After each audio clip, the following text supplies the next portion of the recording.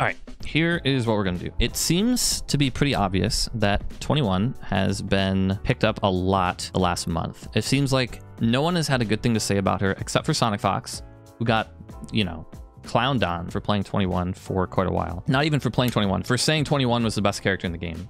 To be fair, even now that might be a stretch, but uh, I'm thinking it's less of a stretch than I used to think so. Like that character is bonkers. This character, 21, she is a problem. And lately it feels like everyone has realized it. Kill Sage has been playing 21, Super Noon has been playing 21, Nitro, who won the East Coast, has started playing 21. Jonathan Tene, who won the West Coast, has started playing 21. Or at least Nitro was talking about picking him up, picking her up. Maybe I'm not super sure, but he's been talking about it. Everyone's kind of just realized that this character's nuts all at once, and I want to go through the reasons why everyone's kind of realizing it now and what those reasons are. I'm going to use Broly actually as kind of a counterpoint because Z Broly is who we think of right now when we think of a top tier anchor. We think of Z Broly. What we want out of an anchor we, we want them to be Z Broly.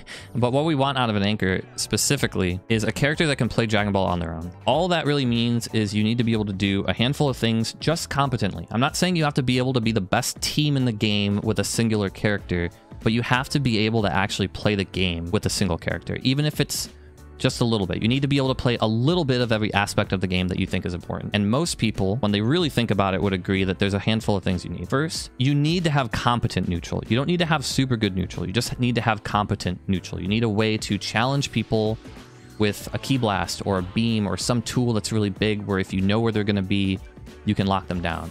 You need some way to make Super Dash feel bad. So if you, of course, have a tool like now Piccolo has this, where you can convert super dash. There we go. Some way of getting a slide knockdown, some way of getting corner carry, some way of extending off super dash, which is a tool you kind of have to use. You want a way to, you know, punish things that other people are doing. So that could include punishing other people's super dashes, which, you know, Broly is super good at this. You literally just react with your command grab, or he can jab it too. He's got an air level three. So having tools to deal with the things you know you have to deal with, the common situations, and be able to get your way in there is super important. Next, you need to have some form of offense. You need some way, some competent amount of offense. You don't need it to be the best offense in the game. You don't literally need a 50-50 on a command grab, but having some way of pressuring the opponent and actually making them feel like they have to take a risk is important. There are some top tier characters that can't even do that. You could be playing Bardock or maybe base Vegeta. I'm not really sure. There's a lot of top tier characters. It feels like that when they don't have assists, they can't mix you up. But with assists, they're ridiculous, right? They, they win neutral, they body you, they get 50-50s when they get in, but you take away all their assists and they're no longer really that scary once they make you block, assuming you can react competently. But having, you know, Obviously, a command grab helps a lot. Having a good cross up helps a lot. So that means you can do same size super dash, which means you can get them thinking about that. You can 6M, you can dragon rush, you can command grab, whatever. These are things that make your offense scary when you don't have assists. And then you also need to have some way of actually keeping your turn when you do good things. So if you win neutral and you get that hit or you open them up and you get that hit, you need to have some consistent momentum. In Broly's case, now, he didn't used to have this, but now if he can combo you in the corner, he just gets a slide knockdown.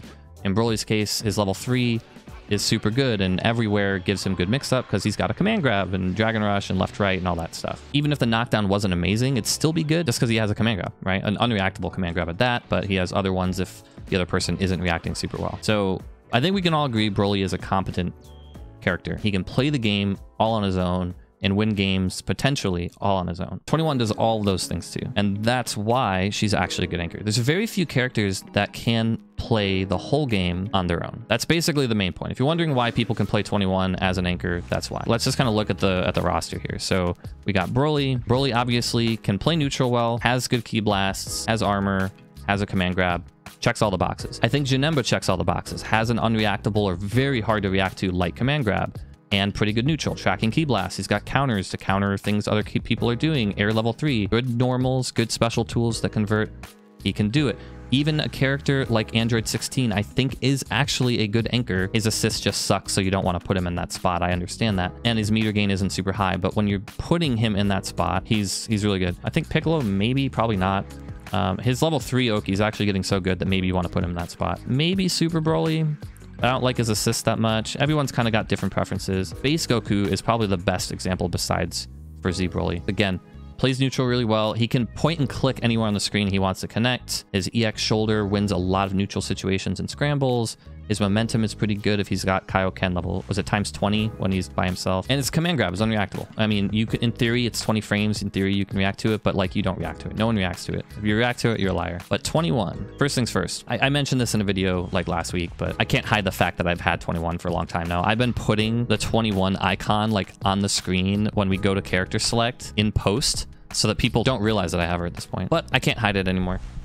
All right, so first things first, probably the biggest thing, and this is something that only she does in the whole game, or, or really no one else does as well as her. Actually, let's say she's in the top five of this particular thing in the entire game. This one particular small thing she can do, and that is having amazing level 3 Oki. So her grounded level 3, and she's got two of them, but this is one you swap into when you DHC. Her grounded level 3 is nuts. This, you literally get left-right mix-up off this. That is so ambiguous, you might as well just say it's a 50-50. And you have every other option available to you. So you can Dragon Rush, you can cross up really quick. You can just stagger and kill time. And the level 3 gets stocks. And if you don't know what the stocks do, don't worry about it, because here's something she can do regardless of what stock she has. She gets different ones for every character that she uh, takes from, but if she has the meter, and then uh, this move is nuts. EX Orb, EX Beam, whatever you want to call it. This move is insane. Gets a full combo anywhere on the screen if it hits. If you're even like relatively close to the other person, like this is relatively close. I think we can combo from this. Though I think we might have to like dash super jump depending on... Yeah, if you really don't know how to like worry about it, all you really got to do is just super dash and that'll always work. On block, it is incredibly plus with all these stocks. It is, let's turn on our info display settings so we can check. Plus 20, point blank, plus 20. And you can use this to be reflect proof if you're worried about that. You can literally just like same side JH and do this and it combos on hit. And if they reflect you away, it locks them down. And if they reflect into hard tag, it punishes the hard tag. It's absolutely crazy. So she gets stocks. She gets ambiguous, basically 50-50 left-right mix-up. All she's got to do is, after the level 3, she holds up. Depending on how she times the air dash, it'll go over or it'll stay same side. And it's it's really, really hard to tell if the 21 player actually labs it right. So essentially, this is the big thing. It's a big thing. It's actually not even all of it. And all of her steals are insane too. We're going to talk about that maybe towards the end. But that's cross up. Same side would be, you know, just like a little bit sooner. There's a lot of times where I try to cross up and I go same side, so I can basically 50-50 myself. And the best kind of mix-ups are when you don't know what side you're going to be on. I think that one was same side until it hit, then afterwards I was on the other side. Um, but you can also do fun stuff like super jump float for like cross ups, or you could super jump fast fall for like a faster low. If you have stocks available, you get to do really fun stuff like almost all the secondary ones are really cool. You can do same side solar flare if you have someone who actually does consistently react to the cross up, which is super fast, by the way. This cross up is insanely quick. But if someone can deal with it, you can, if you have solar flare, which you might because you get Solar Flare from Ultra and Goku, from pretty much all the, most of the Saiyans, not all of them. You get it from Roshi. All these characters are really common right now. Level 3 Oki is insane. And you can do this from most characters in the game. You can just swap to her, right? If your character at this point or mid doesn't have super good Oki, you can just swap to her when you have three bars. The only difference is in the corner, you won't get a super good mix up. So you want to either side switch them out of the corner or cancel into her before you get to the corner and then you're good to go. All right, we're going to move on from the level three Oki because I don't want to talk about it for like forever. The next thing was actually the first thing I mentioned with most characters is if a character is going to be a competent anchor and be able to actually play the game all on their own, they have to be able to actually competently play neutral. And she does more than just competently play neutral. She has ridiculously good normals. So her JM is ridiculously big. Her 5M is huge too, so she wins round start with this. She wins round start with dive. She has a key blast. She has a beam. She can angle it up. Her uh, 2S, which is her, it looks like this when she hops up and down real quick. This move is super duper plus, so you can actually challenge people afterwards. And she recovers really quick. Like in neutral, if they block it, for example, you're plus six. This move is wild, and a lot of the time, if someone wants to super dash you, when they see this, you can pretty much always 2H it. And if you don't think you can 2H it, you can pretty much always level 3. As long as they pass through the Key Blast, you can cancel. So that's the same way it works with like Super Saiyan Vegeta, where he does like air key blast and you super dash at him and he just DPs you, right? But she can also do this with pretty much every stock she has, which is going to give her a good combo. So three out of four of her air steals are going to do this. She gets uh, different sets depending on the character she does, but three out of four of them is the main thing, is going to be able to punish this. So she has Solar Flare, Sticky Energy Blast. This one is wild. This one is actually frame one, upper body invincible, and it's a really good starter. It's super, super good. And then the barrier as well. And most people don't block there. If you do it fast enough, it is actually a punish, but it's kind of hard. So there we go. If you watch Sonic Fox play this character, they are super, super good at doing that. And the only one that doesn't work this way is Sonic Warp, uh, the teleport. So you aren't going to like react to a super dash with this, which kind of sucks. But you can still always try to like snipe it with JM or something, but I think that's kind of hard. Realistically, you're going to level 3 or you're going to use one of her stocks. Yellow stock command grab is, is crazy. The only thing that's not actually perfect with it is so she has like a ground version of everything and an air version of everything. So you got to kind of have to keep track of what she has. But the ground version and the air version are frame one upper body invincibility. So if someone safe jumps you, you can literally just do this on wake up. It doesn't hit crouching, but it hits standing and you can cancel it on whiff. So on wake up, you pretty much just do this cancel. If you got the hit, you're going to kill him. If you didn't get the hit, probably able to like escape or, you know, fly away. The stock that you get with Sticky Energy Blast is the consecutive energy. So this is actually pretty good because it makes getting away not too hard. It like actually whiff punishes because you can cancel her stocks into each other. You just literally mash S afterwards. And if someone actually ducks under the grab, this is going to low crush whatever they're hitting that's like a low. And then you get a combo. And it's like actually a really, really good starter. Anyway, we were talking about neutral. That's actually why we brought this up, just because this is a really good anti-super dash tool. And she has good key blast, and she has really good normals on the ground. Her 5M is nuts. Her JM is nuts. Her ability to air to air you is just actually wild. So if someone's super jumping around and you want to chase them down, like it's really hard to do this with like a solo character. Like how do you chase someone who's super jumping around and just kind of blocking? With her, you can actually just get up to their height and as long as you can get within like, I don't know, like four feet of them or like five feet of them, you can just make them block. And if you have stocks, you can cancel into something that is actually going to win a scramble afterwards if you aren't able to make them block and go all the way down. Amped up, amped up Guilty Gear character. I'm not sure exactly what that necessarily means, but but she's fun. So uh, that's the first checkbox. Can she actually win neutral on her own? Second checkbox is just going to be, can she actually pressure you and mix up on her own? And the answer is like, yeah, they keep buffing her command grab. So if you don't have stocks, it's replaced with the command grab. If you hit with it, you get the stock, obviously. So the command grab's pretty good. It's 24 frames, which is definitely reactable, but I feel like this is actually really hard to react to consistently, especially if someone's structuring their pressure well. 2S is plus on block even when you're in, so you literally just do this and air dash back in.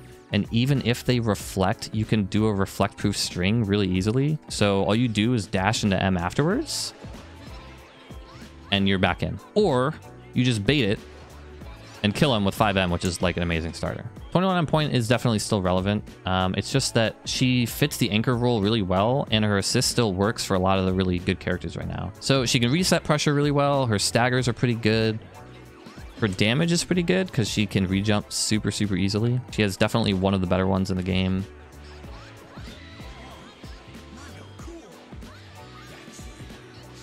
And she can choose what side she wants to go, so she can always get the good mid-screen uh, level 3 Oki, which is really nice. And then her left-right mix-up is ridiculously good. Her cross-up M is, I believe, exactly the same speed as Kid Buu's cross-up Ki Blast. I think everyone will agree that this is a very, very, very quick mix-up. This mix-up is super fast.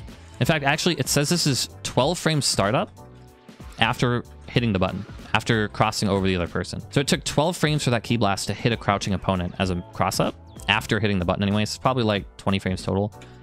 Hers, if it hits like early on, is between 10 to 12, depending on how you time the M. This is literally faster than Kid Buu's J JS in a lot of these situations. Super, super good left-right mix-up and really good conversions from it too. So good stagger, good pressure, good conversions. She can reflect proof relatively easily. EX ball, as we mentioned earlier, is like plus on block and reflect proof if you cancel into it, which is wild. Mix-up is good on her own. Her neutral's good on her own. Level 3 knockdown's good on her own. So that's all wild. And I don't think damage is super important for an anchor actually, but it is nice. So she's got definitely above average conversions, above average flexibility in how she ends her combos. She doesn't have like a sliding knockdown on her own, but she can pretty much always get to the corner if she wants. And if she's in the anchor spot, especially with limit break giving you free meter, you know, that's not too big of an issue. You're probably going to have meter if you've been getting dumped on and you're playing solo 21. I think another reason that a lot of the top tier players, Sonic Fox to Kill Sage, are picking up 21 is just because she fits this role that we're talking about that it really only felt like a handful of characters did before, while also being more fun I guess. Kill Sage actually put out a video recently that I think you guys should watch, like why he switched teams, why he's playing different team instead of Broly right now. Although that might change again because they did just announce that they're gonna nerf Roshi a little bit. I don't know if he's gonna stick with them after that. But one of his reasons, and I definitely agree with this, is just that that Broly gets kind of um, I don't really know what the word is. He he doesn't encourage you to keep learning. He can always win, right? His neutral is very simple. Ki blasts are very good things like EX into like level 3 is just to like obliterate an opponent if you're by yourself. He has 50-50s without really thinking about it. You just literally light grab, which is unreactable. He doesn't encourage you to really continue improving in the same way that some other characters do. So I think a lot of people who play him for too long just kind of feel stagnant. And I definitely feel that way whenever I play him. I have fun playing Broly. I think Z Broly is fun. But at some point, I, I honestly feel like I stop improving when I play them. Like I, I improve with them for like two weeks, I get creative with them for two weeks, and then I'm just like, eh, I can always win. I don't think about it. But 21 has like a lot to learn. You know, you have like optimal combos, you have steals, so every matchup feels a little bit different, and you get to figure out like what the optimal way of using a lot of these options are. You just kind of get to have a character that can still win on their own and kind of stay fresher, I guess. Keep that like learning process going. Yeah, too easy is definitely a problem. I, I think like quality of life and being an easy thing, an easy character to play is always a good thing. But at some point, if you're trying to keep improving as a player, sometimes you need to mix it up a little bit. Women's got a lot of style and creativity with her. She's also just super fun. I feel like when I'm playing her, I feel like I'm playing Mitsuru again from Persona, you know? Stream's good now. Thanks, guys. The only anchors people have really agreed on have as being incredibly, incredibly stupid is basically just Broly and base Goku because their mix-up is kind of just you run at them, command grab. That's 50-50. Whether you command grab or frame trap, that's all you got to do. Not playing that way is fun. I think it's fun. I think a lot of people think it's fun. Plus, cross-ups are fun. Having to do stuff like same side super dash is fun. And when you get people worried about these things and you're willing to like overhead and DR, you can just do like command grab and get away with it, which converts really well. So I guess the TLDR and like why you'd choose her over a character that also checks all the boxes we've talked about is that if those characters aren't motivating for you to actually improve at the game, then uh, you're going to actually get more out of a character that does. And sometimes playing a weaker character does that for people, whether it's your point character, your mid character, your anchor, it doesn't matter. Someone who has a lot of fun with a character like Nappa or Blue Vegeta or Goku Black even is going to be more motivated to improve than someone who's playing a top tier they absolutely hate. My advice, if you're worried about who you should be picking in any slot on a team, is literally just pick the best character that you think you would enjoy enough to improve, right? If you can't figure out who to fit in a slot. Pick a fun tier, yeah. Sometimes your favorite character literally is too weak to improve. Like if they're literally a joke character, then yeah, don't pick them. But I don't really think there's any characters like that in DBFZ. The only thing I can think of is like maybe there's matchups where you literally need a reflect and Videl doesn't have a reflect. But even someone like Goku Black is good enough to be like a top five or top 10 player in an entire side of a country. Like Axice is probably a top 10 player on the east coast of the US and he's playing 17 Goku Black. So I guess the wrap up is she fits the role of Anchor really well. Her level 3 is broken. super, super good. She also has an air level 3. Her neutral's ridiculous. She can react to stuff like Super Dash. Her stocks are super good. Her mix-up's good.